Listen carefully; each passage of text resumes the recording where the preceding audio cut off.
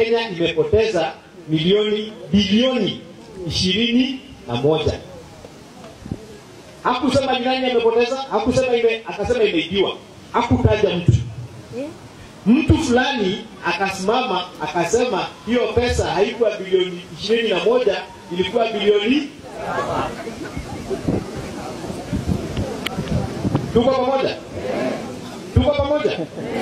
Alafu akasema hata hii bilioni saba iko na insurance. Kwa hiyo msijali itali ni kama mtu aibe gari yako alafu akwambia usijali gari ita iko na insurance. Alafu mwishowe akasema na watu wanasema ni mimi nimeiba na mimi si mimi. Sasa ukiuliza swali moja tunauliza swali moja tu.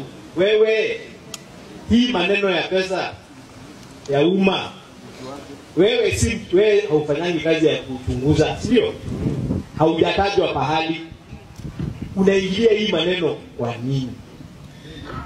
si wote ama unless kuna kitu unajua. Mungu ndio alisaidia. Nafikiri Uhuru hata yeye alikuwa amejua amemalizika na wizi kwa nyumba yake na hana mtu wa kumsaidia. Sasa akakuja, Kalonzo akakuja, wengine kina Mudavadi. Sasa mwizi tunakemea zote, zote tunakemea mwizi, na ndio mnasikia mwizi sasa anasema oh, ni mimi naonewa. Ulitajwa na nani? Wewe ulitajwa na nani? Wewe ni mwizi sababu makanisa na nyinyi mmefahamiwa sana. Kanisa ndio imefahamiwa. Pesa minakuja nakuja naletewa milioni mbili, milioni tatu kwa sandi, upelekewe kanisa kama kumi, kumi na tano, jameni, milioni moja, mbili, tatu. Ni nani alifanya biashara ya hiyo ya pesa aina hiyo duniani? Hata Trump ana hiyo pesa. Kuna mtu ana, hiyo pesa. Saa ingine mkatae hiyo pesa ya shetani ile ambayo imeibiwa nchi alafu mnaletewa mlango wa, wa, wa nyuma. Article 147 inakuwa inakuambia wewe ni msaidizi wa mkubwa, na ukicheza 150 inasema ukifanya mambo hivi hivi, si batili peke yake, tukiona tukinusa kunuza tu tuone unafanya hivi nje, impeachment. Serikali ni ya Uhuru, si ya Uhuru, ni mtu mwingine, ni ya mtu Presidency is not divisible. Haigawani hata yale yako. Sasa ni kusema ukisema ni fulani na fulani ni kusema tuko na watu wawili. Sisi hatuna watu wawili. President kwa wakati huu president si mwizi. Mwizi yuko ni kitanda karibu na yeye.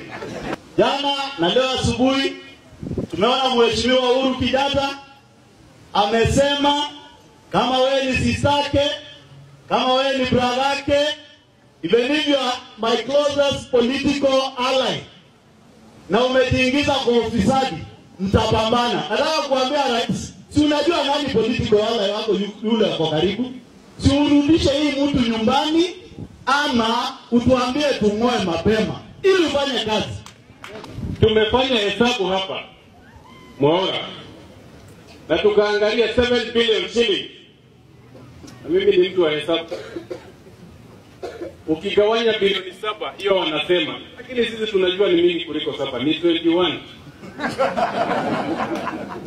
Hata tukikubali ni hiyo 7 unasema wewe unasema ni 7 wewe. Wacha tuchukue hiyo 7.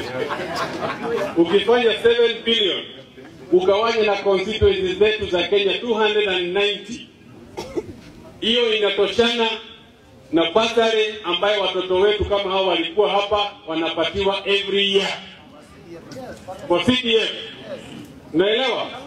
Kwa hivyo hao wakora wa damu na mnawajua ambao wanaogopa DCI, hawa wameipa pesa equivalent na ile masomo yote tunalipia watoto Kenya mzima, na kwa hivyo leo tunataka kuwaambia they should step aside kwa sababu wameiba pesa ya watoto wetu.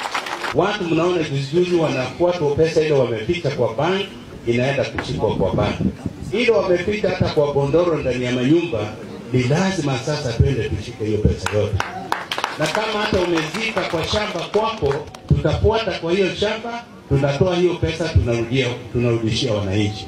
yule atakayetajwa ndani ya nchi hii kwamba amekula pesa ya mwananchi, vile mheshimiwa Mbuya amesema, wacha akae kando, ndio wengine wafanye uchunguzi ufanyike.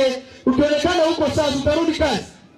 Ndio kwa sababu wale wanaopinga DCI bwana Kinoti, wale wanaopinga vita, wale wanaopelekwa kotini na, na, na, na Director of Public Prosecution, tunawaambia kama wamechagua laini ya ufisadi wakae peke yao pale, lakini sisi Wakenya wengine ambao tunaumwa na wizi ambao unaendelea tunasema no to corruption.